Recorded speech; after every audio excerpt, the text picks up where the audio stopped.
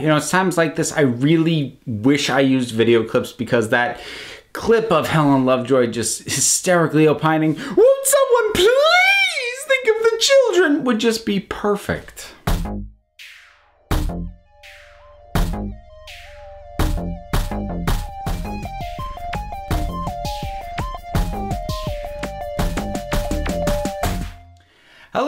Everybody. So, we have arrived at this month's planned uh, video on the topic of LGBTQ plus representation, which means we're going to swap the lookout really quick. And um, your reminder, in case you're new around these parts, um, I have a fluid sense of gender, which I do like to express a little bit more cleanly in these videos. And this one's going to be a little bit different because instead of talking about an element of representation or representation in a specific franchise, I'm instead I'm going to flip it around. I'm going to focus on the ways in which representation is perceived and accepted or not accepted, as is often the case.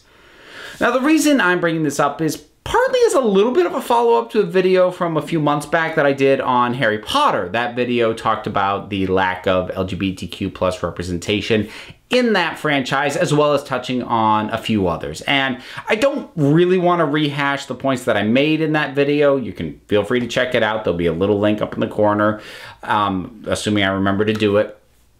But I noticed that there were a few things that came up continuously in the comments. Now, some of them I addressed already in another video, but one of the ones that I saw a lot was some variant of these books, these stories are for kids, and that kind of material is just not appropriate. Yes, it's the good old think of the children argument. Now, I, I actually want to be careful about the way that I talk about this because, look, let's be blunt about it. Sometimes this argument is a very deliberate smokescreen it is a more acceptable argument than the one that some people want to be making. And they know that because there are people out there still who very firmly believe that being anything other than both heterosexual and cisgender is an inherently wrong, wicked, or obscene thing. And I'm not going to talk about people who believe that. I'll say what I've said in previous videos. I I have nothing to say to them. It's not because I'm on some high horse where I feel like I'm above them, but there really isn't much for us to say to each other that isn't just a waste of everybody's time. We're never going to agree on the basic premise for a debate. So instead, talking about this this whole thing uh, the whole idea of that shouldn't be in a children's book when it comes to LGBTQ plus representation. I'm aiming this discussion more at people who seem to be a bit torn about it. You know, folks maybe who aren't arguing for withholding rights from LGBTQ plus people or anything like that, but they still find themselves squeamish about the idea of that kind of representation in media specifically aimed at kids.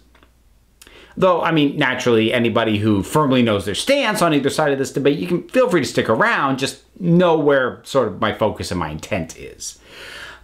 So, I'm also largely going to focus specifically on homosexuality uh, as opposed to the full LGBTQ plus spectrum because I do actually think that acquainting children with concepts of people being transgender, non binary, gender fluid, and so forth is it kind of has its own set of hurdles, and those are similar, but don't quite line up with what I'm going to be focusing on in this video.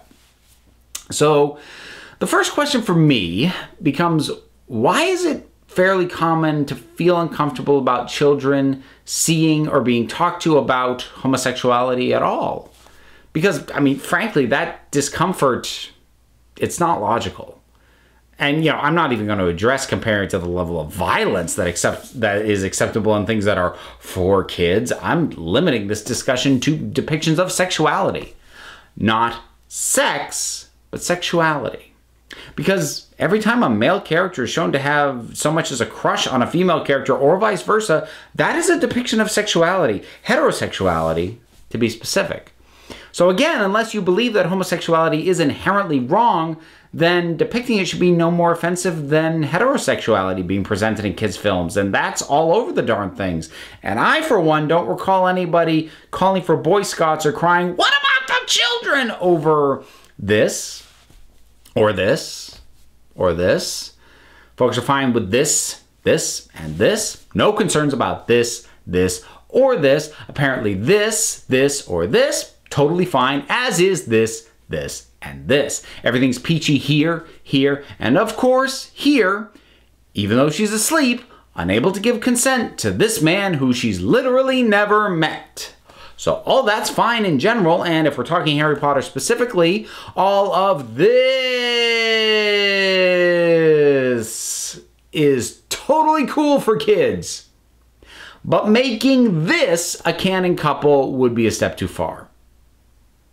Now, that's me making the logical argument, but I also want to get past the logic because what I'm talking about ultimately are emotional responses. And emotional responses, by their nature, are not inherently logical. so, as fun and cathartic as that little exercise was, it doesn't do much to look at the problem because pointing out that a feeling is inconsistent or not backed up by data or is hypocritical doesn't actually make that feeling go away. So, why do so many of us get squeamish about kids seeing same sex couples? I think one of the biggest things is just the fact that societally we're still shaking off generations worth of ingrained anti gay sentiment. And as much as we might like to go, yes, I do believe that homosexuals are people, I'm so woke that doesn't instantly erase all the learned behavior we've had up to that point, which is telling you otherwise. I mean, you can be woke as hell and still find yourself uncomfortable at two guys holding hands. That doesn't make you a bad person. It just means that this stuff runs deeper than just your conscious understanding that it's there. And that's true of all of us. I mean, that's true of me. I've been working through my own BS presumptions about people just like anybody else. Hopefully, this problem will get better with time as we make an effort to not teach these presumptions to our own kids, but that's that's gradual stuff. So, for people who are currently raising kids or have done so in the past, uh, in other words, people my age, and older, there's still a lot that we've got sort of just cluttering up our head spaces about all of this.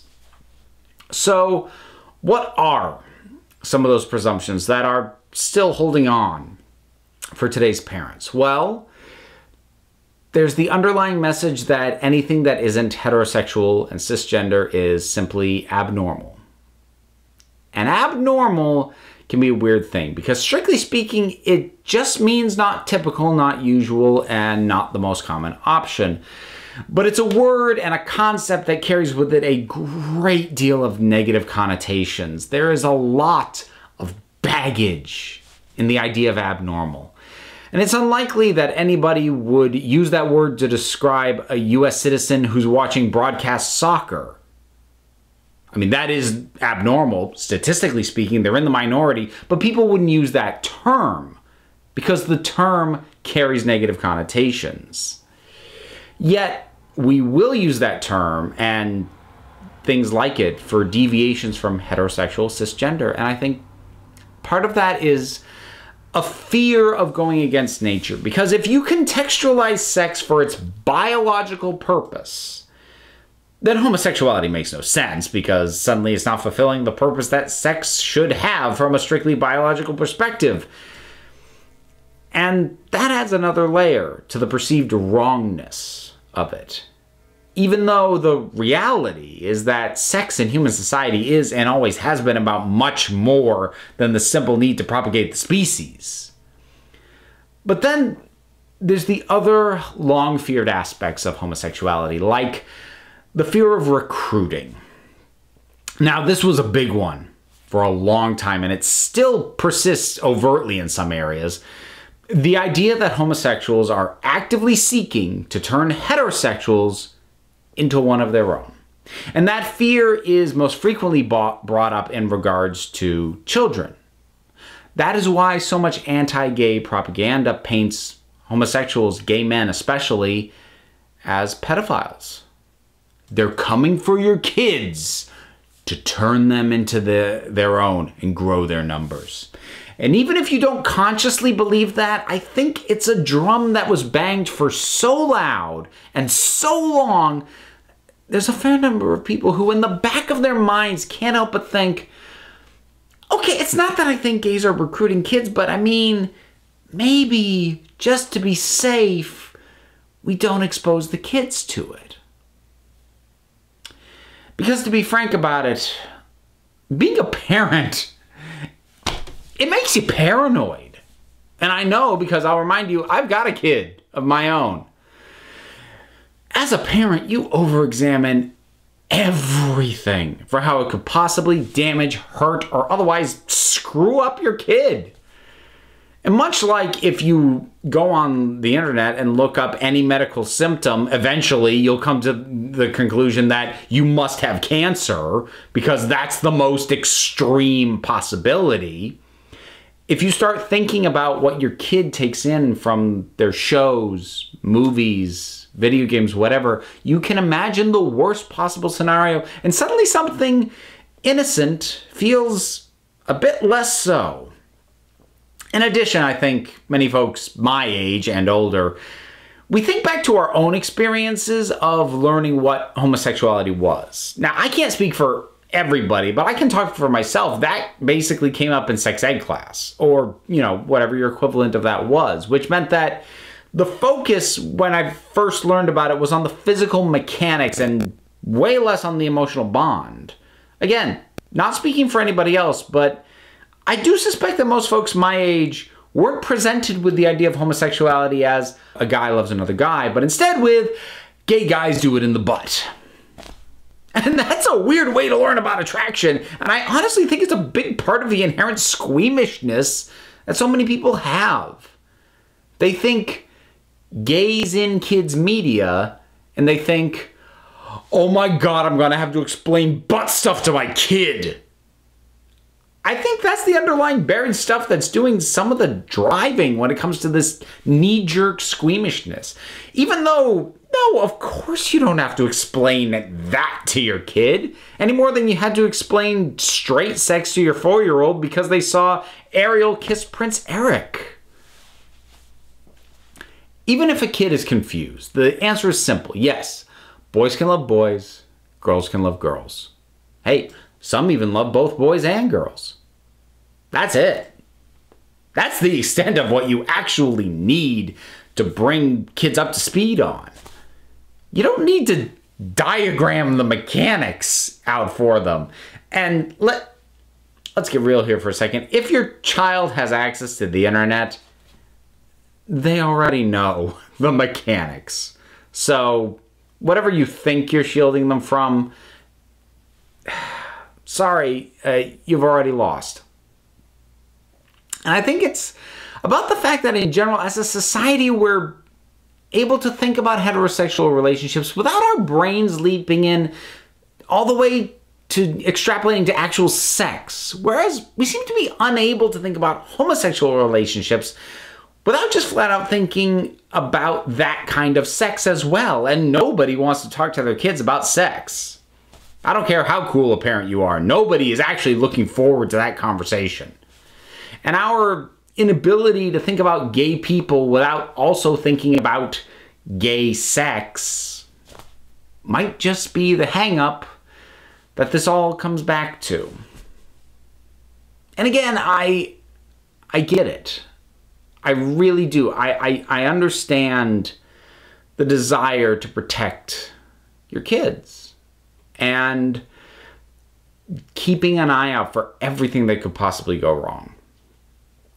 But when it comes to things like reaction to LGBTQ plus people, that I think much more than a lot of other stuff is that's a that's a really a learned behavior.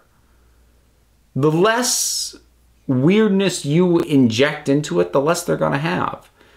Then, if we're lucky, there'll be even less weirdness with their kids, and we can get this thing going. I'd like to see it more or less fade in my lifetime, but I, I mean, let's be realistic. So, I do get it. I do get the squeamishness. But think about what it is that actually makes you uncomfortable about the idea of gay people in kids' media. Because I, I think for at least some people, it's because they're not recognizing that part of their brain isn't really thinking gay people in children's media, is thinking gay sex in children's media. Which, of course, isn't the reality. But the thing is, even heterosexual, good old fashioned straight sex took a while in terms of media representation. If you're not familiar with the Hays Code in Hollywood, you couldn't even show a married couple in the same bed. And I, I like forget a sex scene, but just like getting into bed to go to sleep. One of my favorite movie series is the Thin Man series, and and the characters who are who have amazing romantic chemistry and are so obviously in love with each other and they're adorable and they get in these separate twin beds. It's ridiculous. But there was a fear that even that tiny acknowledgement that they share a bed. Oh well, if they share a bed, what are they able to do together in that bed? Oh my god, protect the citizens, protect the children from that horrible depiction of two people laying in a bed together under a blanket in full pajamas. That did not cause a, any sort of breakdown of the moral fiber when we got over that and stopped doing that.